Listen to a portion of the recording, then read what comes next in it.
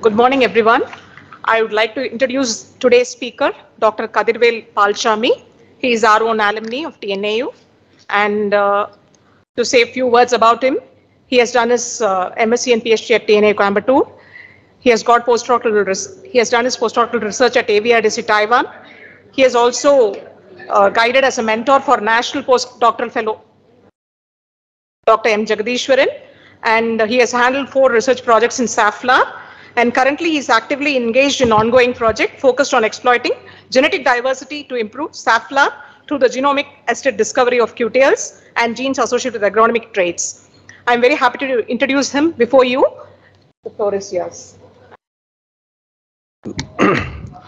So, respected Professor Dr. Maheswaran sir, so thank you for giving an opportunity to, make a, another presentation against sir.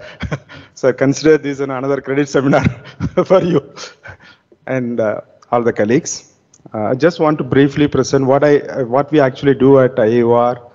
And in this presentation, I will be giving a, a brief about the national scenario of research, particularly uh, involving marker assisted selection in oil seeds, six oil seed crops which uh, Indian Institute of Oil Seeds Research is focusing. Because I have taken this topic because MAS is an important tool for breeders and what we really uh, are, are up to. Because we have just listened to rice and we know so much of things have happened.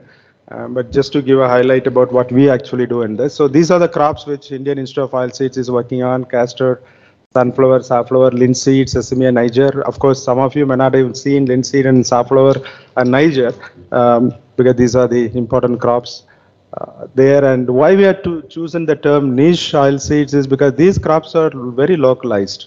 They they are not very major crops. So look at castor is a major crop in Gujarat, major area in Gujarat. Sunflower in Karnataka, safflower in Karnataka and uh, Maharashtra, linseed some parts of UP, MP, and sesame Rajasthan and Madhya Pradesh, Niger in some tribal areas of Andhra Pradesh, Gujarat, and Madhya Pradesh. So that's why these are very localized uh, importance these crops have. And we have All India Coordinated Research Project, almost 59 centers across these crops. You can see uh, how many states that we cover all these crops. And our uh, Indian Institute of Oil Seed Research is coordinating um, four crops, ASRPs, and two other crops. Sesame Niger is coordinated by Jabalpur, Jaw- Jawaharlal Nehru Krishi Vishwa- Vishwavidyalaya in uh, Madhya Pradesh. And you see what is the scenario here. You see overall, if you look at last 50 years trend in oil seeds, there is an increasing trend. But however, the major contribution of oil seeds in India, particularly these uh, uh, edible oil or uh, scenario, is comes from only three crops: soybean, rapeseed, mustard, and groundnut. 92% of production comes from these. Only 8% comes from the crops that we work on. So they are really, really small players. And there is a, another uh, research institute in soybean. There is an institute for uh, rapeseed mustard. There is an institute for groundnut. So our IOR focus only on six, and they are very minor crops. Uh, crops, and you can see the productivity trends.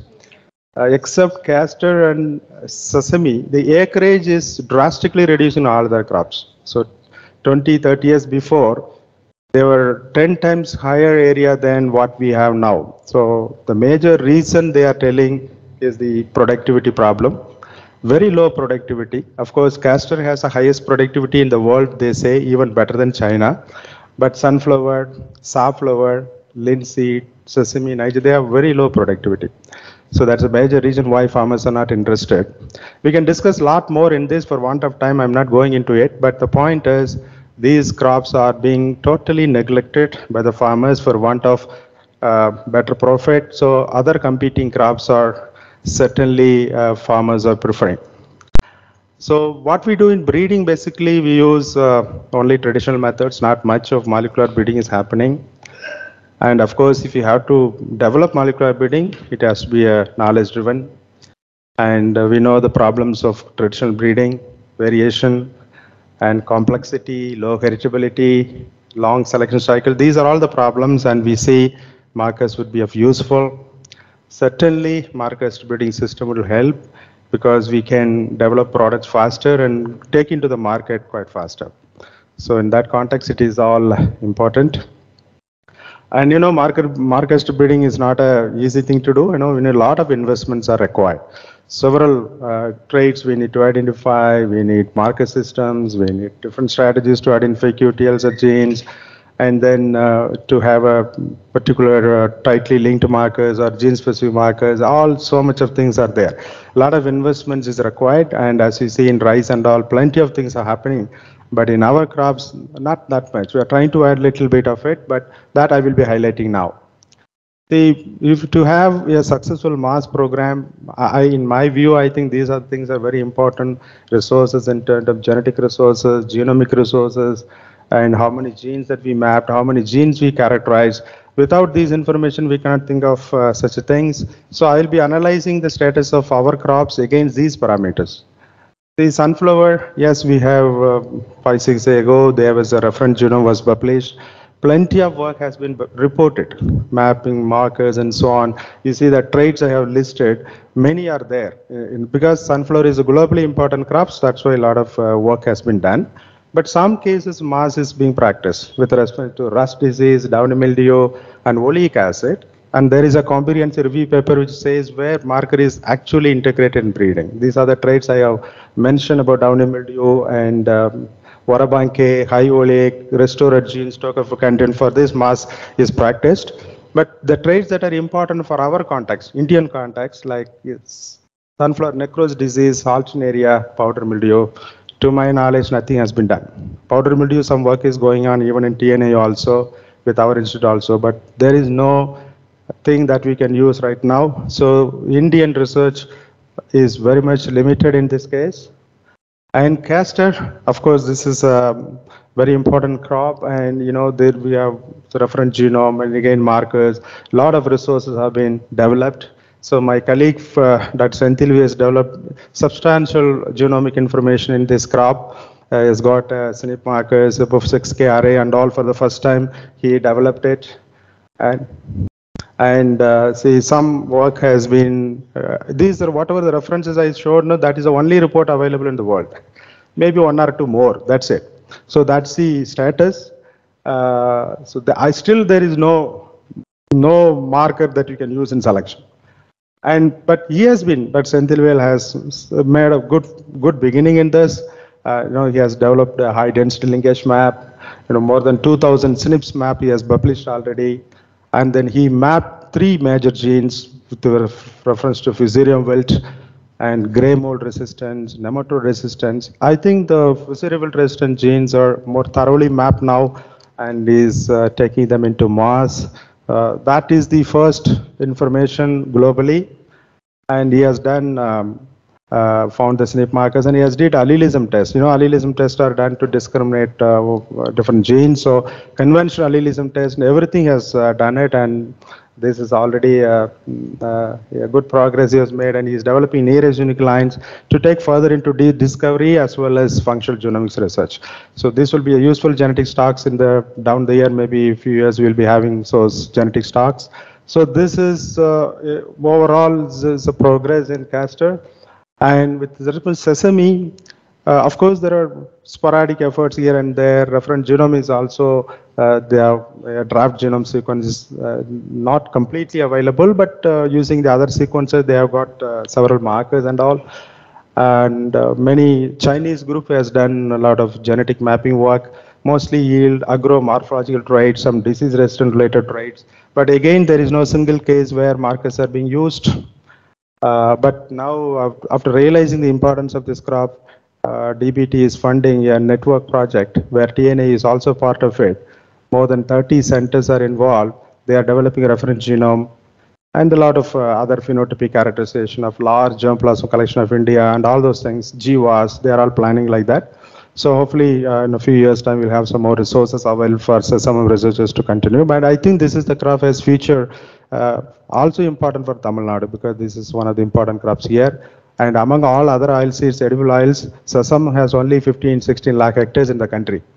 No other crops which we work are there are 1 lakh hectare, 2 lakh hectares like that. So this has a future and not much work has been done even in basic breeding work. Uh, there are a lot of uh, gaps are there. Uh, there is a there is a hope. Uh, there is scope also in this crop to, to further research. Then linseed. Linseed is a very important crop with reference to omega-3. Alpha-linolenic acid, this is the highest content of alpha-linolenic acid, 50% in its oil, the best vegetarian source for omega-3. And also it is good for flax type, I mean fiber crop. So because of that, you know, some uh, international efforts have happened. Uh, some people uh, uh, worked on uh, improving this crop using markers, but still uh, there are no clear-cut markers available for uh, agronomic traits. Only for uh, selecting low linolenic acid, low omega-3 content, uh, they have designed markers because uh, linseed oil is not good for cooking. You have to eat directly as such because it will get spoiled when you put it in high temperature. So when you reduce the omega-3 content, certainly it will be uh, making it a edible oil also. So in that case, we are also trying to reduce. The speciality of this oil is to have omega-3, but we are also trying to reduce it to satisfy the edible oil requirement. Again, uh, DBT is uh, uh, sponsored already a big project in linseed. NBPGR is developing lots of genomic resources, including the reference genome and so on. These are all the beginning. What I'm saying about these developments happened 25 years ago in rice. So we are now putting into it. And Niger, it's a very uh, interesting crop. It's a self-incompatible species. It's grown in uh, tribal areas, uh, some pockets of the country. It's a very good quality oil also it is, but nothing has been done literally. We don't know even basics of this crop. We are doing ASRP for the last 30 years, 30, 40 years, but no, we have not understood this crop. And then why to talk about markers and so on. So now I'll little bit more details I'll give about safflower, which I am working right now for the last 12 years. Safflower, we have last year, I mean two years before, they developed a reference genome, and recently uh, uh, it was published, and uh, and several markers we have been using most of SSR markers. So we are also developing, and internationally also it is available. Uh, so I personally focus on mapping aphid tolerance in safflower and one of your own students came here as a postdoc and he did that. And we also, I'm also working on markers for high oleic trait. These two tangible things we could generate and very limited works on other traits. Whatever, these are the only references available in Safflower. So whatever we do, we are the first. And we are taking baby steps.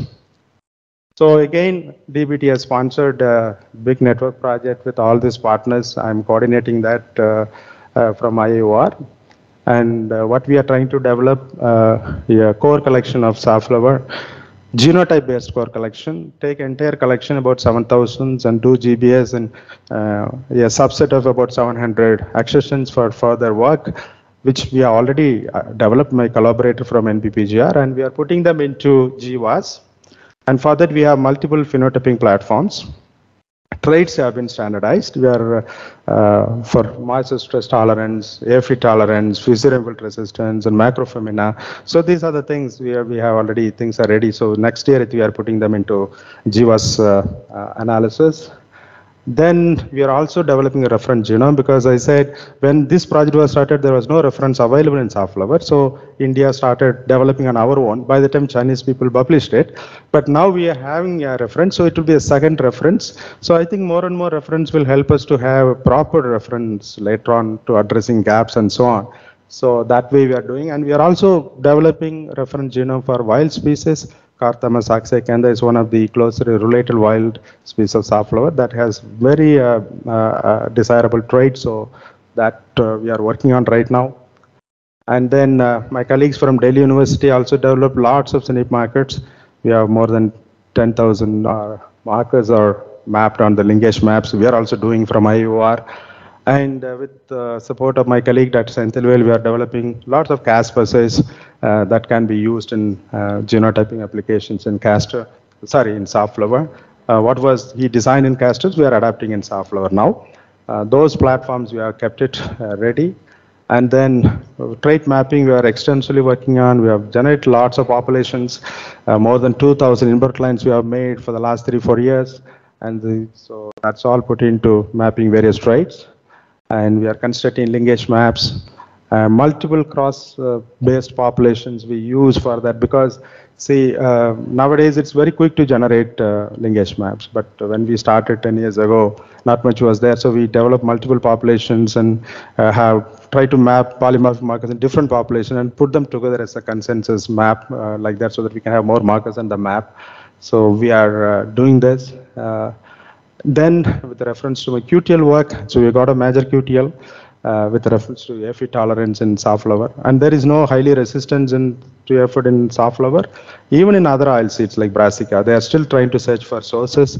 So we got one interesting QTL and then uh, we mapped it. We used the phenotype, which I learned from PhD phenotyping. So we adopted here. And you see, whenever I do mapping, first thing is I doubt myself. Is it right QTL or not? It's very important because it will be misleading a lot. Uh, we don't know and several factors that uh, that leads to false detection. That's why you see lots of QTLs are reported, but nobody even bother about it later on. It stays with the papers.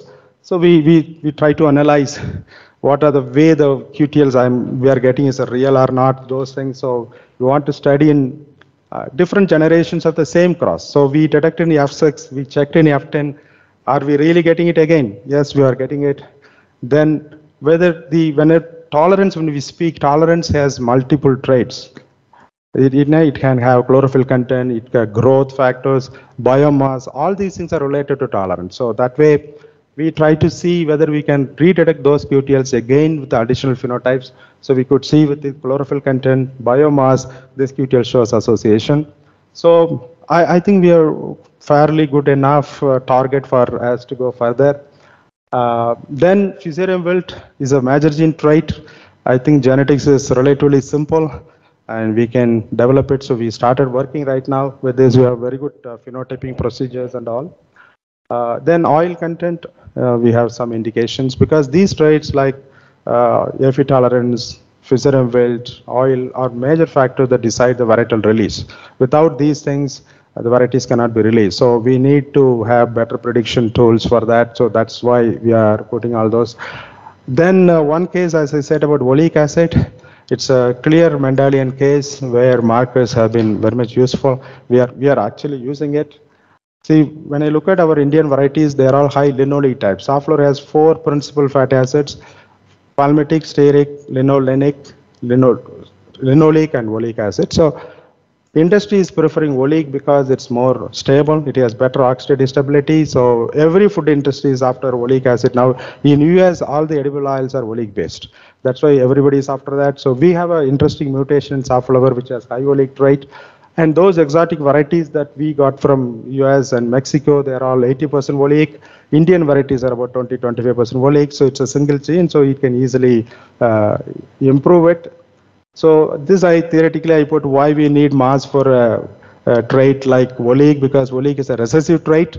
So I don't need to go into the background for want of trait. So recessive traits it saves time for us, and especially MAS provides opportunity to predict heterozygotes. For oleic or some traits, you some, the power for MAS is only our ability to predict heterozygotes because we can't we can't predict heterozygotes based on phenotype uh, in some traits like oleic and all unless we have morphological markers.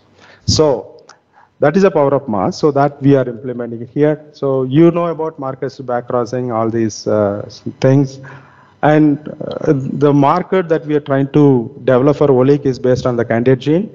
And this is a pathway when uh, Initially, when the seed develops, the oil accumulates, it will be oleic, then it gets converted into linoleic. If there is a mutation in oleic, uh, that fatty acid desaturase gene, then the, the pathway gets disrupted, it remains oleic. So there is a natural mutation. We did not create anything. It was already there. It was discovered 60 years ago, and that we are uh, now capitalizing it. And there is a publication from CSIRO about uh, markers for uh, predicting oleic, but this is a multiplex marker. We need to put six primers into one uh, PCR mix. So it's very complicated for its breeders. I don't think they can use it very uh, effectively. So we wanted better marker system and we looked at uh, the sequence of this gene, the allelic variation between oleic and low oleic and high oleic types. And you can see there is a indel one single base deletion causes this high oleic trait uh, in safflower. It's not like in other case like groundnut and all, you need two alleles, but in this case, one single mutation uh, is responsible. So we know what it is. And uh, then based on that, we, we started developing populations, backcross and F2. And this is how we predict based on the just looking at the sequence. I don't know any of you has uh, sequenced a hybrid F1 um, or uh, for this, but uh, for a marker basically. So this is a sequence-based assay. When we sequence it, the hybrid plant will look like this. Based on analyzing the chromatograph, we, I can just say this is a hybrid plant, this is homozygous, this is heterozygous and all. But this kind of assays are very costly, so we need low cost thing. So for that, uh, we need to design uh, other markers. But here I want to emphasize one thing, the co-segregation. See, when you are using marker for selection, the marker should co-segregate with the phenotype. And there are different terms that we use. We use association, sometimes we use co-segregation, sometimes. Association works at population level. So when you do QTL mapping, you get a QTL is detected based on the association. But co-segregation happens at one-to-one level. So association is not equal to co-segregation. So when we write papers, we say when we find a QTL, we say the mark it can be used in marker selection like that. That's a very superficial statement. Once a marker is mapped based on association, that has to be established in um, family-based populations uh, in a one-to-one manner. That's called co-segregation. So you can see the way we have predicted uh, phenotypes homozygous means how, heterozygous means how. The oleic value based on gas chromatography, it's pakka, it predict, I mean, it matches with our prediction. So this, that's why this trait has been very useful and we won't be lucky to have such a traits in most cases. And fortunately, we are okay with it. And in backcross population, again, one is to one segregation. And you can see you don't find any high oleic things in the backcross because we get either heterozygous or homozygous for one parental type. So these are clearly it matched and we design KASP assays with the help of Dr. Senthilvel. So now we don't, this is a non-gel based method, a fluorescence based method. All your rice markers can be converted, to this kind of things, it will save a lot of time for you. But anyway, this is the, you can predict, you see whatever is one type of allele, homozygous, heterozygous and everything, it's a codominant type. So it's very, in one day we can finish 1000 samples.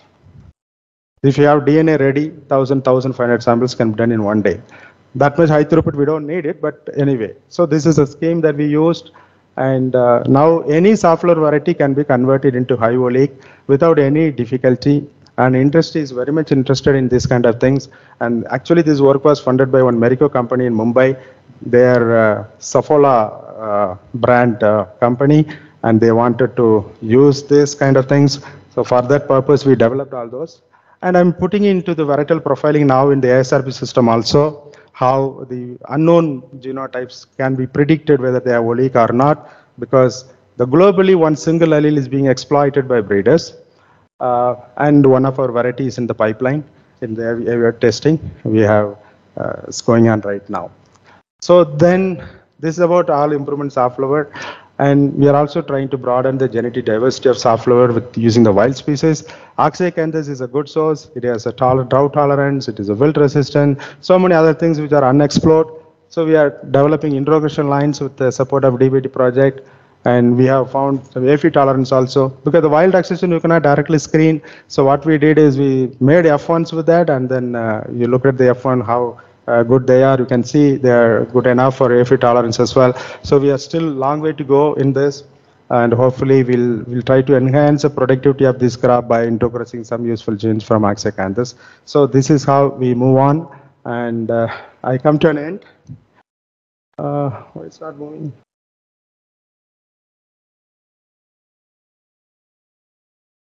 So sorry, I was rushing because of of time. And thank you. Uh, and these are the people who have funded our work. ICAR, DST, DBT is their Marico company. And uh, Dr. Jagadish did a lot of work in aphid tolerance and all uh, with his uh, with his project from DST and several my uh, research associates. So many people, more than 30 people have involved in this, and I really acknowledge everyone. And thank you so much for listening. But it's a beautiful crop for genetics. It's a very tough crop, spiny.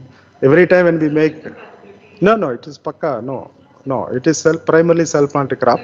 Yes. Some often cross multi sometimes it happens. No, no, not in safflower. It's only Niger and uh, sunflower. Niger is very severely incompatible. Whenever we crosses, every time we lose two, three drops of blood. in safflower. Not beautiful like other crops like rice or tomato. So you are unlucky that way. So, good afternoon, one and all. So, I profusely thank Dr. Kadirvel for his wonderful lecture. He was the student of our former Director of Research, Dr. Mageshwaran sir. So, many of the students you may not be knowing. So, marker assisted selection, uh, marker assisted selection பத்தி எங்களுக்கு சொல்லி கொடுத்தவரே sir தான். So, I think sir feel very proud to see his student to exploit that marker assisted selection in the underutilized crop. We all feel very proud to be our alumni of Dr. Kadirvel to become a principal scientist and doing a lot of research on this uh, safflower and other thing. Thank you Kadirvel. Thank you very much for your uh, timely help. Thank you for your wonderful lecture. Thank you one and all. Sir, thank you for your valuable time, sir. Thank you.